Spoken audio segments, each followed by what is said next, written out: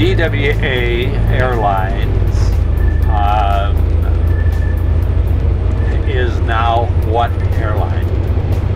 American, yes. That's it.